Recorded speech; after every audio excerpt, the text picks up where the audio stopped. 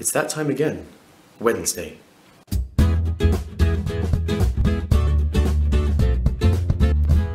It is already halfway through second week and I cannot believe how fast the time is flying by.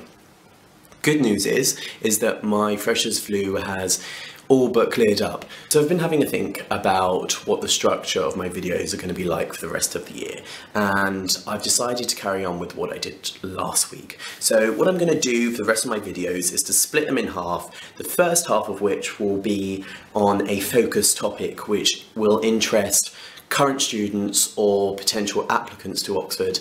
The second half will just be um, a few highlights of the week.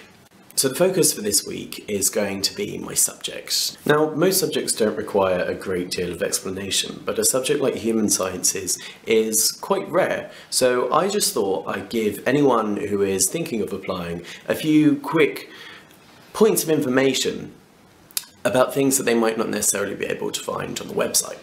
Point number one is that there is no typical human scientist. You could probably say the same for most other degrees, but I think it's particularly true with our course. While there do seem, on average, to be more girls studying human scientists than boys, this doesn't make a great deal of difference. While most students have studied a broad range of subjects before starting here, you won't be at a particular disadvantage if you have studied, if you haven't studied one particular topic. That's what the first is for.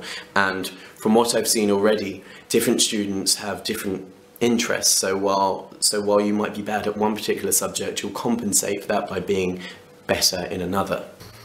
If there is one thing that unites all human scientists, it's that we're all quite sociable, friendly people. Interdisciplinary nature of our course means that we share our lectures with students studying other subjects. It also means that we move between colleges quite a lot and also go to different departments. So not only will you get to know the university well, but also a lot of academics and students in different fields. Relative to other subjects, there aren't many of us. The intake this year is, I believe, 32, so it's a relatively small course, which makes it competitive, but also means that there's a lot of focus on the individual, which really does work in your favour. The final point I'd make is about the ease of the subject. Now I think human sciences can be described as both the most difficult and easiest degree at Oxford. Perhaps easy because you are studying an array of fields which means you delve into them to a lesser extent than if you were specialising. However, the main challenge of a degree like human sciences, which probably makes it one of the hardest, is that you constantly have to shift between different modes of thinking. That can be frustrating in the early stages, but from what we've been told, it's also one of the most fulfilling things when you can begin to see ideas fit together. Any questions about the course, please post them below and I promise to get back to you.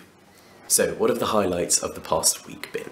Wednesday was quite a challenging day because I had my first statistics tutorial and Statistics isn't really my strong point. However, it went relatively well. However, that was closely followed by the need to complete an essay for 9am the next morning for sociology, which may potentially have involved me staying up until 3 o'clock in the morning.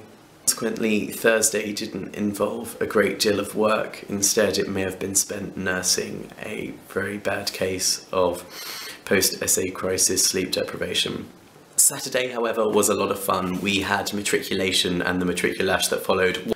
Watch Zanny's video because she describes it really well, uh, but I'm just going to let you see what happened.